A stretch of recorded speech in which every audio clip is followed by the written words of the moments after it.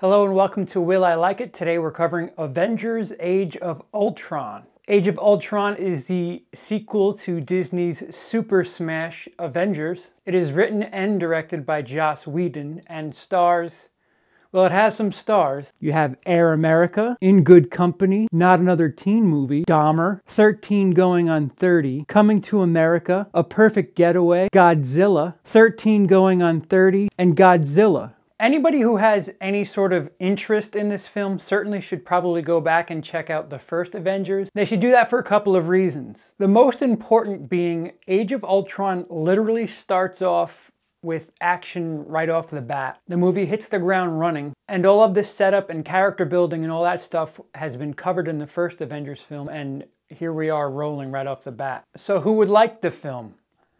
I could be lazy and say anybody who liked the original, but, but there's a bit more to it than that. The original film, while some serious stuff was going on, it never really felt grim. No matter what type of danger was in store, there was still kind of a, a bright, upbeat type of feel to the movie. The sequel has contrast to it. When things are bleak, they actually, uh, it's strange saying it, but it, it feels a bit more dangerous. Things seem a bit more bleak when things are bleak in the sequel. With that said, it also makes you appreciate the funny parts, which there are quite a few funny parts in the sequel as well. Anybody who enjoys a bit, anybody who wants their film to have a bit of realism, bunch of people from space and superpowers, I don't know what you're doing here. You should feel good knowing that this, this film feels a bit more like there's some serious danger to a lot of people. It's a bit more grounded and realistic. There's you, you get a better sense of of emotion and feelings and why people are doing certain things. There's there's so much incredible dialogue in this film. I, I feel like this film goes deeper with the grim aspect and deeper with the comedic aspect. The original had a, a general brightness to it, while this sequel certainly has moments that are you know, muddy and bleak and, and pretty down and out. You appreciate the ups and downs a little bit more, I, I would think, in the sequel. Without giving too much away, people who are going off of the trailers and commercials, seeing Avengers fighting each other, should know that there's a bit more to it than that. There is that's actually part of the plot line. Uh, the villain Z at times, at times there are multiple villains.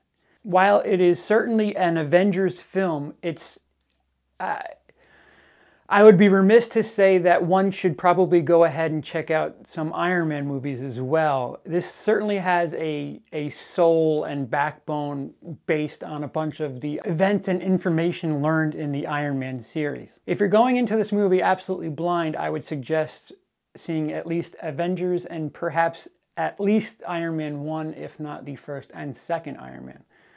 I would feel that those are most crucial to have an idea of exactly what's going on. Who wouldn't like the film? Uh, like I said, it's, it's a little bleak, so perhaps somebody who, who likes their, their comic movies to be cheery and, and, and up and colorful. Um, I mean, this is a sequel. You should know how you feel about the first film.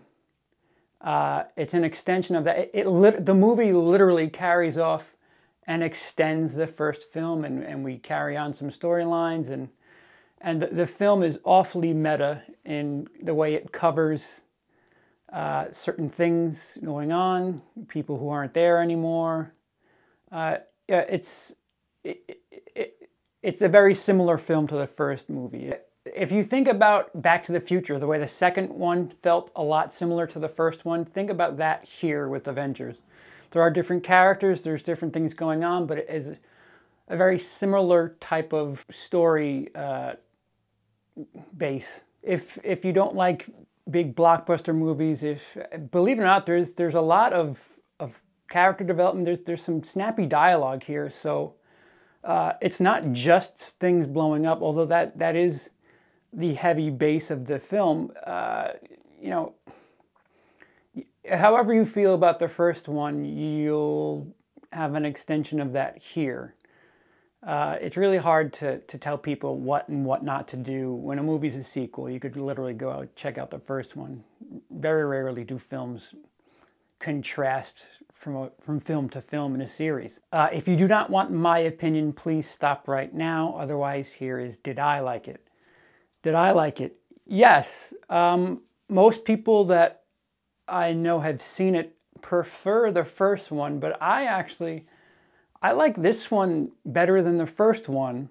Um, it's hard to talk about this without giving spoilers away because it, you really kind of hit the ground running, and then within within 20 minutes you you have the basis of the story and where we're going.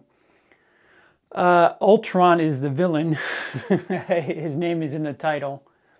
Uh, they do a lot of neat things. He's he's awfully snappy and uh, comedic. He, he's like a artificial intelligence in put into a, a being, if that makes sense. Uh, awfully human sounding. I, I, don't know if that's good or bad, but I I enjoy funny things, and you know, it was a funny AI, very sharp and snappy artificial intelligence, and it's just it's just so so sharp with with the meta references, and you know, if someone's not there, they definitely they they they don't forget about it. They don't try to hide it. They'll they'll cover their ass, or at least they try to. And you know, it's I appreciate things like that. I I like big dumb action movies, and this is it's this, this isn't dumb. This is this is big, smart, and a lot of fun. You will notice that at no point did the chart of mine for the year passed by. That is because this is my favorite film of the year. We're going to do this every time something new takes the first spot, and this film is my favorite film of the year so far. Uh, later on, we'll release a spoiler-filled uh, review, and perhaps you can look at that to get a better idea of how I felt about the film and what I enjoyed about it. But for the most part, I will tell you guys that yes, I, I, very much enjoyed it. It's it's so far my favorite film of the year. I, I love summer movies. I, I think I like summer movies more than anything. And this, what a way to kick it off. Uh, like I said, some people don't like this as much as the first one. I like this better than the first one, but you know, thoughts are early. It's it's always hard to go on your first instinct. So hey, there it is. So far, my favorite film of 2015. Uh, please, guys, subscribe, comment, let me know what you think. Do you disagree? Is it not your favorite? Uh, thanks for the support. We'll talk to you soon. Have a good day. Bye.